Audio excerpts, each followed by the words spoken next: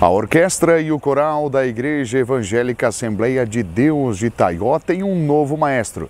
Trata-se do pastor Lincoln Lima, que passou a ser o novo responsável pela área musical da AD Itaió. Natural de Criciúma, pastor Lincoln e sua família foram empossados pelo pastor Joé de Moraes, presidente da Assembleia de Deus de Itaió, no último dia 7 de janeiro, e iniciou os trabalhos na última semana. Muito bem, eu sou natural de Criciúma, né? natural de Criciúma, sou casado, tenho uma esposa e filhos, Lilian e Miguel, né? que me acompanham. Eu iniciei bem jovem na carreira musical, né? também ah, na igreja, né? onde eu, com oito anos, também entrei na banda de música da igreja, ali em Criciúma, no qual eu me tornei também o regente com 17 anos. E ali permaneci por 18 anos, né? regendo a banda sinfônica da Assembleia de Deus em Criciúma, na igreja sede. Fui músico militar também, fiz diversos cursos de regência, né, orquestração, formação em música, práticas sociais também.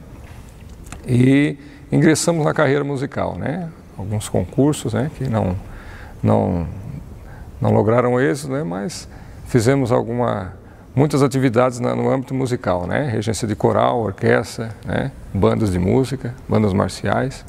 E isso ao longo de 27 anos, né?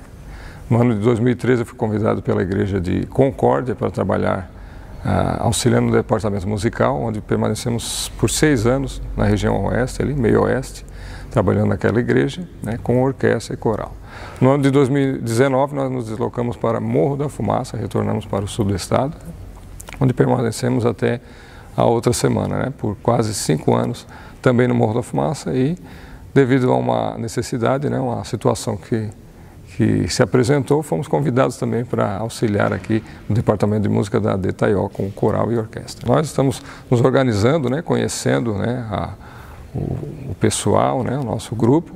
A orquestra e coral fazem parte da liturgia de, do culto, né, no nosso, nosso meio evangélico, né, algo muito importante, algo é, de, de, grande valia de, de, um tempo assim que é ocupado durante a liturgia, né, preparando os corações.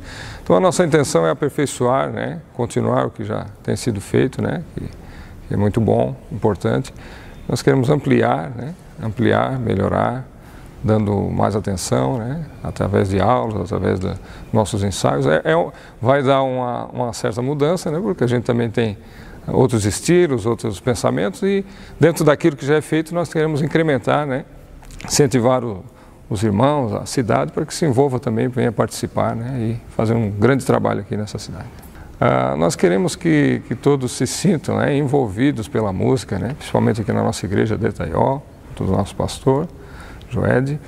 E as aulas de música, né, gostaria de salientar que serão abertas ao, ao público em geral, né, dependente de denominação, né, nós teremos as aulas. O primeiro encontro é dia 3 de fevereiro, às 10 horas da manhã, onde nós vamos conhecer né, os alunos e também dividir as turmas por instrumentos, né, para podermos dar uma atenção especial. Mas está aberto né, a, a toda a comunidade de Itaió, sejam da nossa igreja, Assembleia de Deus, como também as demais pessoas que queiram né, tem esse interesse, tem esse desejo né, de aprender um instrumento de orquestra, uma experiência diferenciada. Né? orquestra não é tão comum, não é todo lugar que tem uma orquestra, né, um coral. E nós agradecemos a Deus por essa oportunidade de termos aqui na nossa Detaiol, né, essa oportunidade de trabalhar com coral e orquestra, que é um, um trabalho clássico, né, diferente, erudito e com certeza dará muitos frutos, né? Com certeza. Então, a vinda do pastor Lincoln é uma pessoa que a gente buscou com uma qualificação, né, formação em música e, além de tudo, uma experiência longa, como ele mesmo relatou, uma experiência longa de trabalho com a igreja. Né, uma vida dedicada à música e isso vai trazer ainda, agregar muito mais valores, né, aquilo que a gente sempre teve como um, um incentivo, uma cultura da nossa igreja, investir, né?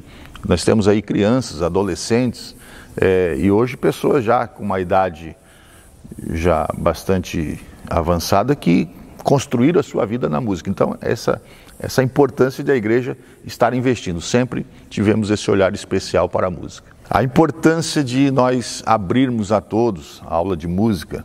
Né? Você que, não importa o seu credo, a sua religião, a igreja que você pertence, ou se você não pertence nenhuma igreja, é uma oportunidade Então, o que a igreja está proporcionando sempre é uma oportunidade, oportunidade de vida, porque tem pessoas que começam, às vezes na infância, na adolescência, como o pastor Lincoln começou na sua adolescência e hoje se tornou é, o seu ganha-pão, né? a sua, a o seu propósito de vida.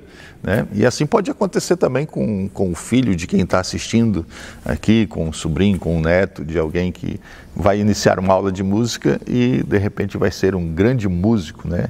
que vai ser o seu propósito de vida. Então a, a música ela envolve e ela é preciso estar nesse ambiente aí inserido as pessoas, né, fazendo com que as pessoas estejam participando e se envolvendo. E está aberto a todos que desejam participar, serão muito bem-vindos, né? Será uma aula aí gratuitamente e você tem a oportunidade de participar.